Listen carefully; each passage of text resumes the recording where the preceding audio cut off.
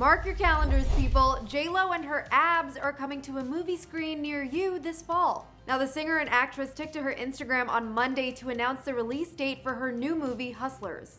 The release date for Hustlers has just been set for September 13th. We're coming to a theater near you. Now, J-Lo, along with Cardi B, Constance Wu, Julia Stiles, Keke Palmer, and Lili Reinhart all co-star in the film, which is an adaptation of the New York Magazine article titled The Hustlers at Scores about a group of former strip club employees in the late 2000s who planned to scheme tens of thousands of dollars from their rich Wall Street clients. Lopez is set to play one of the former strippers and the ringleader of the group. Now, earlier this month, J-Lo gave fans a sneak peek of the film while on set, or a sneak peek of her six-pack abs at least. She posed in a neon pink bikini on Instagram writing, I'm a hustler baby, I just want you to know, on set and in character, with the hashtags Ramona on Fire and Hustlers Movie. Alright, for more on this story, head over to Billboard.com, and until next time for Billboard News, I'm Neha Joy.